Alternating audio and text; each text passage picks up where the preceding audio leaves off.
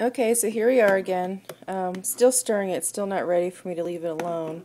But what you can see is it's getting thicker, so you see how it's coating the end of the stick blender there.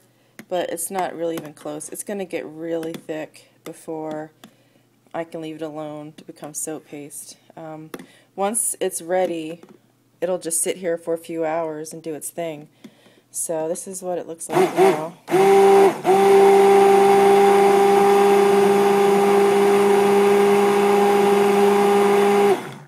Just have to keep it moving like this.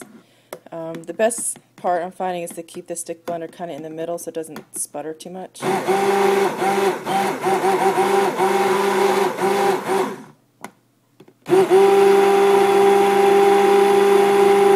So anyway, this is what it looks like. I'll come back once it's pretty much there. Thanks.